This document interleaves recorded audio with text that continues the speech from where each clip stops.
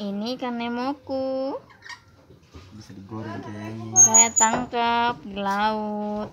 Cantik kan ikan hiasku? Nah, itu bisa digoreng nih.